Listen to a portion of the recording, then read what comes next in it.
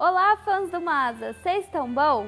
Hoje, no Histórias no Museu, eu vou dar uma dica de filme. Então já sabe, se inscreva no nosso canal, deixe o like para mais pessoas conhecerem o Masa.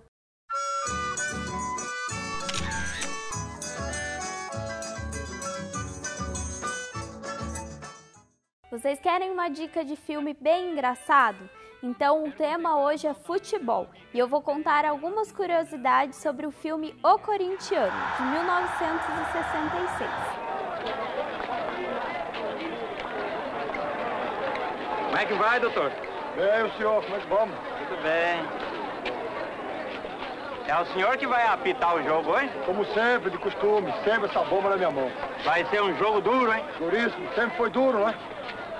Doutor, O que que é, rapaz? quanto é que o senhor quer pra amolecer pro Corinthians esse negócio aí? Quer te quebrar a casa, seu caba safado, sem vergonha, chama a polícia! Ah, prenderam, e adianta bronquear? Eu conheço você. Se o Corinthians perdeu, você não sai vivo Ai, daqui. que quebrar a casa, sem vergonha, safado! Safado é Safado é você. você, sem vergonha! No filme, Mazarop interpreta o barbeiro Mané, um corintiano fanático que arruma todas as confusões com seu vizinho, que é fã de carteirinha do Palmeiras. E olha só pra você ver, naquela época já existia essa rivalidade. Corintianos e palmeirenses não se picavam. Salve o Corinthians, o campeão dos campeões,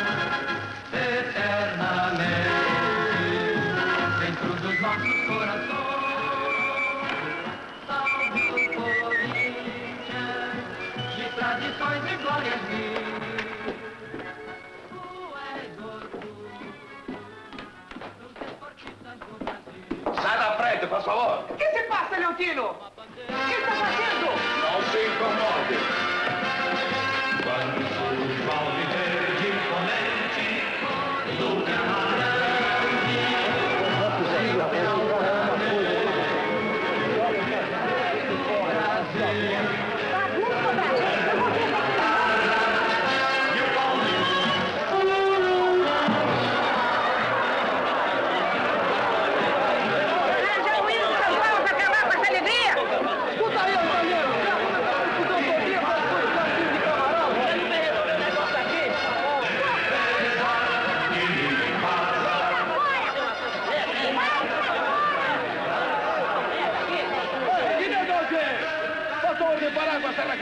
Na minha porta.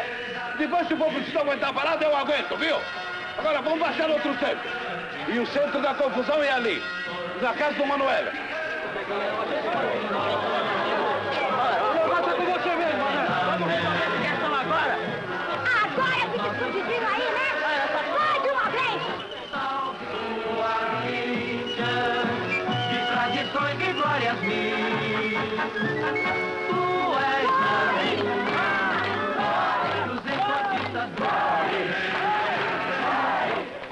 Vamos conhecer um pouquinho mais sobre o Mané? Ele era um pai de família que trabalhava como barbeiro, mas vivia com problemas financeiros. Afinal, ele cortava o cabelo de graça de quem era torcedor do Corinthians. Mas e se chegasse um torcedor do Palmeiras? O que será que acontecia com esse cliente? Vamos conferir? Tarquinho, refrescar o nosso velho, né? Pronto. Vê se tá bom. Tá bom, sim. Quanto eu devo? Você é corintiano? Ah, que tô. Deixa ver a carteira aí. Tá aqui, desculpa, né? Ah, tá sim. Meus parabéns, pra você não custa nada, viu? Olha só, Corinthians ganhou Logo. Qual é o primeiro aí? Vamos ver o primeiro? Você que é o próximo? Eu acho que sou eu, sim. Se é você, senta lá. Tá frio sim, não tem ninguém doendo. Que jeito que você quer que corte esse cabelo? É em silêncio. Isso vai ser difícil. E você já viu bem que aqui é filiado do Parque São Jorge. Eu não tolero futebol. então você entrou em porta errada, porque nós aqui não conversa outro assunto. Eu já tô cheio, desde que eu entrei aqui, é só falar em Corinthians, Corinthians, Corinthians. Escuta aqui, ó, você não tem razão nenhuma de estar cheio, viu? Cheio quando eu quero, não pedir sua opinião. Você é bem mais criado, hein, doutor? Ora, vai cortando um cabelo, toca o bonde, toca o bonde. Toca a bonde, toca a bonde é o quê? Eu não sou teu motorneiro? Ora, Eu tô pagando. O freguês tem sempre razão. É, e quem foi que falou isso pra você? Então por que que tá aquela tabuleta lá? É proibido discutir futebol. Aquilo é pros que não entendem de futebol como você, tá bom? Quer saber uma coisa? Ah. Eu já tô ficando nervoso. Olha lá, hein? Olha lá o quê? Você tá ficando nervoso, eu passo a mão na navalha e acabo com o teu nervo, tá bom? Ora, essa é. Você pensa que você tá me enganando? Você não me enganou, não. Desde que você entrou, eu tô vendo pela tua barriga grande, pelo teu corpão, que você é palmeirense, tá bom? E se eu fosse? Se eu fosse, não. Eu quero saber se você é. É. Então eu vou te falar uma coisa. Eu sou palmeirense. Sai daqui pra fora. Vocês são porcaria. Me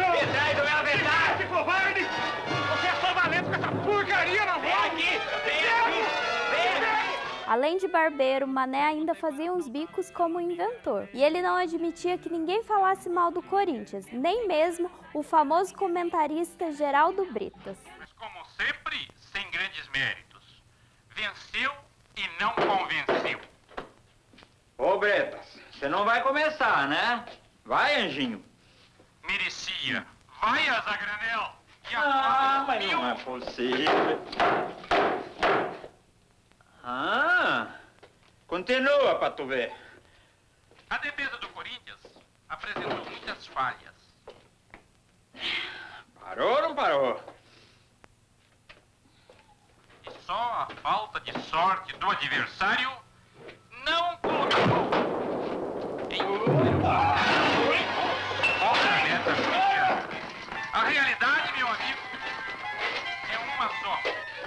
está na hora de endireitar esse time do Corinthians.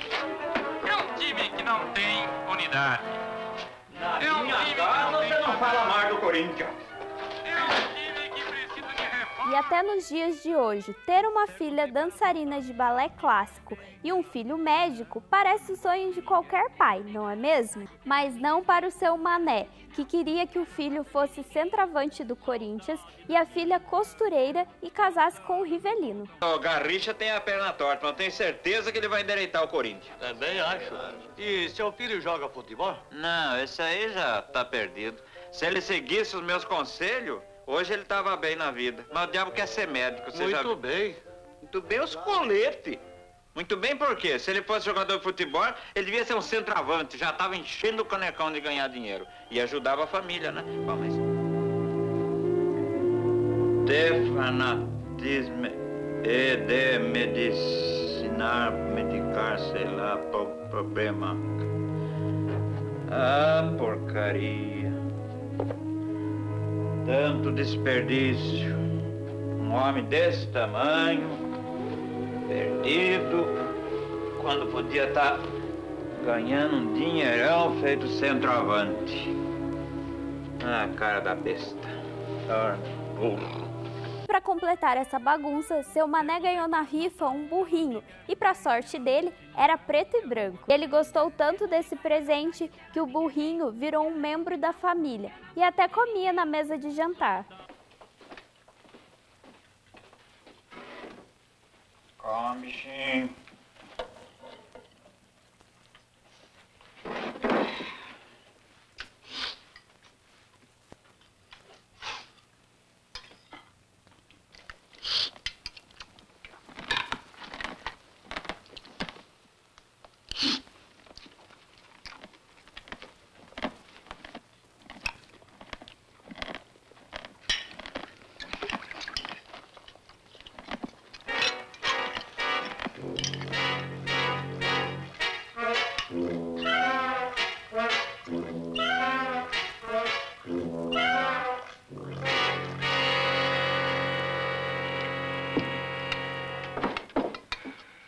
Já vai sair da mesa?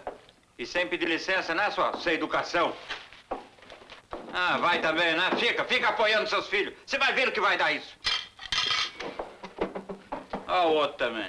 Fique sabendo que na outra encarnação, você vai vir um cachorro. Prefiro voltar um burro. Ah, não pode repetir, velho. E por falar em burrinho preto e branco, vai aí uma curiosidade. O nosso Maza era realmente corintiano. E para homenagear o seu time do coração, ele não pensou duas vezes em fazer essa película em preto e branco, numa época que ele já lançava filmes coloridos. Nessa época, o Corinthians tinha um time que ficou marcado no coração dos fãs de futebol. Mas de quem será que foi essa ideia de contratar tantos craques? Segundo seu Mané, a ideia de contratar o Garrincha e companhia foi uma dica que ele mesmo deu para a diretoria do time. Você acredita? O Corinthians agora vai montar uma academia. E essa ideia de contratar o Ditão, o Nair, o Garrincha, o Thales, foi aqui do papai, velho. Muito Uma bem. grande ideia. Nesse vídeo você conferiu vários trechos com atrizes e atores muito famosos. Um deles foi o Roberto Pirillo. A gente já mencionou ele em outros vídeos, mas aqui no filme O Corintiano ele interpreta Jair, o filho do seu Mané. No papel de esposa desse torcedor fanático, a Dona Eulália, a gente tem a atriz Lúcia Lambertini, que também ficou famosa por interpretar uma das Emílias da primeira versão do Sítio do Pica-Pau Amarelo. E a filha, Marisa, foi interpretada pela atriz Elizabeth Marinho, que também fez parte do filme O Jeca e a Freira. E aí, gostaram dessa dica? Então eu vou deixar aqui na descrição o link do filme completo para você poder compartilhar com os amigos e com a família. Ah, e compartilha com aquele amigo que é fã de futebol. Vai que ele vira fã do Maza também. Nos ajude a manter viva a história de Amácio Mazarop. Até a próxima!